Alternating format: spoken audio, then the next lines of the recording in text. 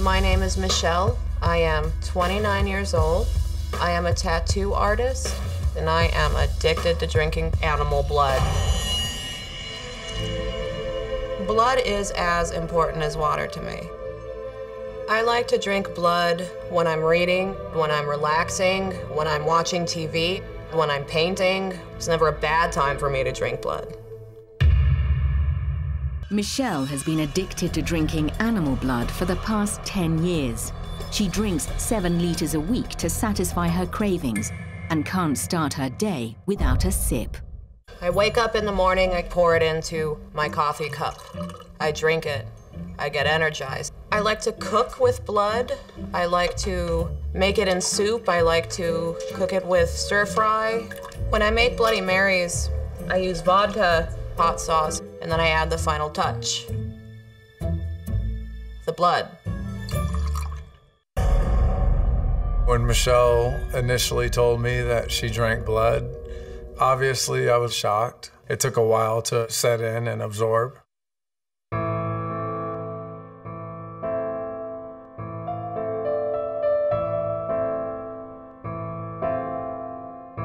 I prefer pig's blood to beef blood because I prefer the gaminess. It's a little bit more salty than the beef blood. The consistency is like that of wine, it's just slightly thicker. And it doesn't taste like wine, but it definitely has the same ambiance. After hiding her dark obsession, she's finally ready to reveal the truth. My mother is very important to me in my life. I love her dearly, and hopefully she still loves and supports me, whether she's okay with my blood drinking or not. Um, I had something that I wanted to tell you. Why do you have that look on your face? Uh, okay, I'm just gonna say it. Mom, I I drank blood. You're kidding, right? No.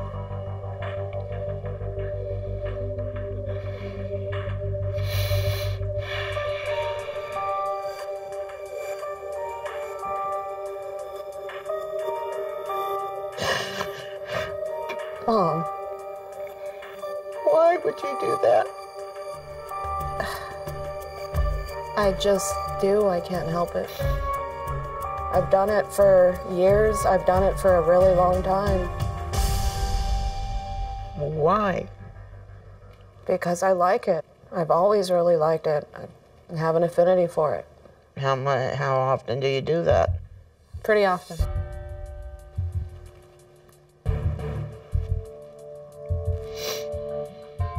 And how does one acquire that kind of taste? I wish I knew. I don't know. I know it's there and it's always been there. You need to know that I am safe. As safe as I can be with what I do, though. I've made sure that people had blood tests prior. There's been a couple of times if somebody didn't have a blood. So what do people do? Cut their arm and put it in a cup for you, or are you biting people? I don't touch anybody. They do it however they want to do it. They extract it however they want. That's disgusting. It's weird, even for you. It's weird. I could still be doing worse things, you know. It's like when I took you get your lip pierced, and I told you then that this is not ever something I thought I'd be doing with my daughter. Well, this certainly isn't.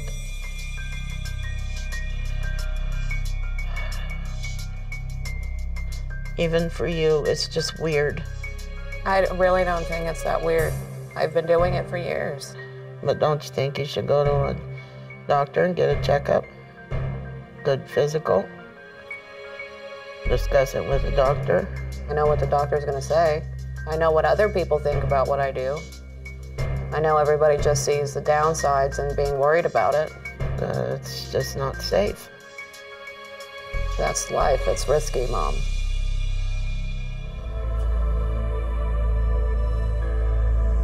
I would rather not see a doctor, but for the physicality aspects of it and for my mother's sake, it'll just put her mind at ease.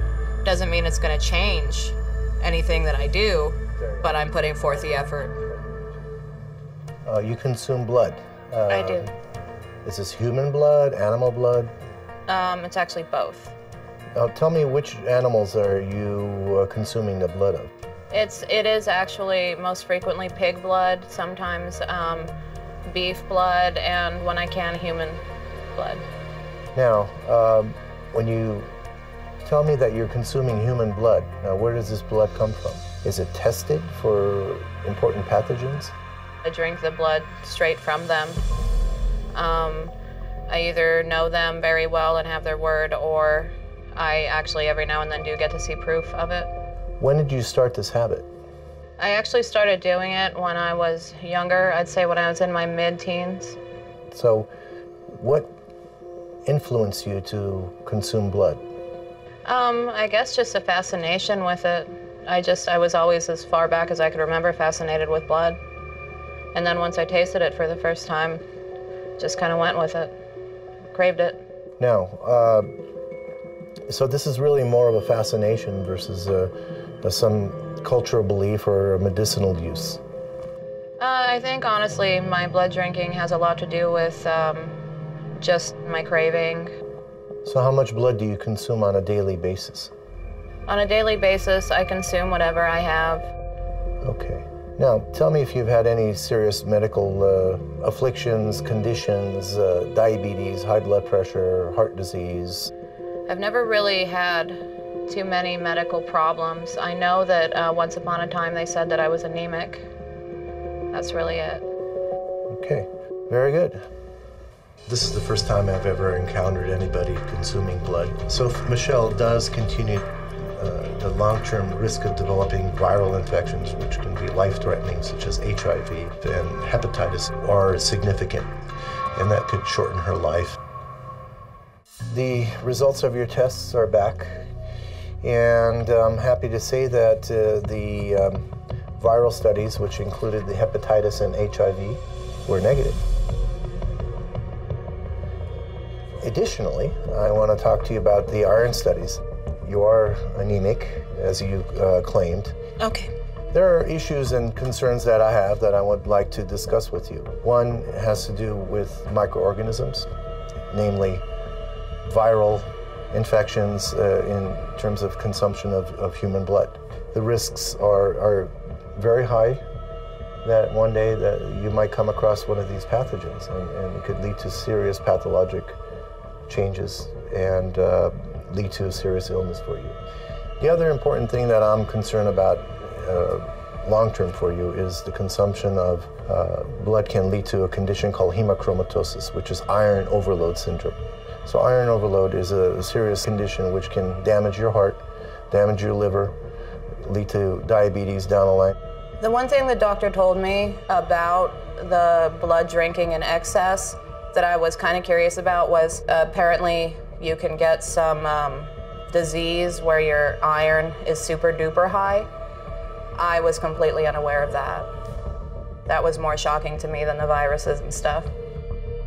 Now, there are issues about consumption of, of pork itself, but if it's cooked properly, uh, the bacteria and the different parasites can be safely consumed.